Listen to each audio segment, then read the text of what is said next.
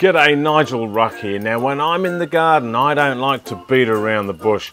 I like to see all my plants in the optimum of health and looking absolutely sensational.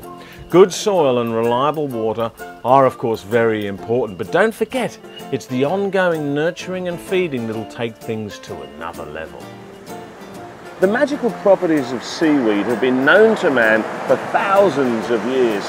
Farmers used to spread it over their crops with remarkable results, and in fact, I think they still do. Now, if you don't live near the coast, don't panic, because all of the harvesting and hard work has been done by Seasol. Sea salt is not by definition a fertiliser, but more an overall plant health tonic and growth stimulant that your plants just love, because it provides benefits that a normal fertiliser doesn't. Now, if we just take a second to suss out the sassy seaweed science, all will be revealed. Seasol's key ingredient is bull kelp, only found in the pristine waters around King Island and the west coast of Tasmania. The massive seas of the Great Southern Ocean wash up mountains of bull kelp onto the beaches, and it's from here that the kelp is harvested. No marine forests are touched, making it totally sustainable. Now I could talk science all day, but it's the benefits of Seasol that you need to know.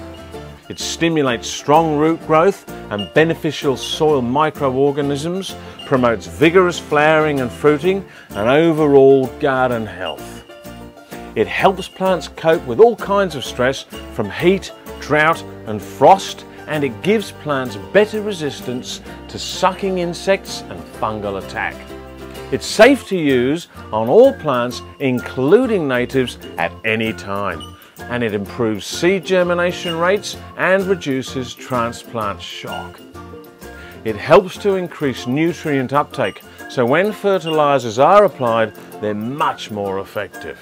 And best of all, it smells great.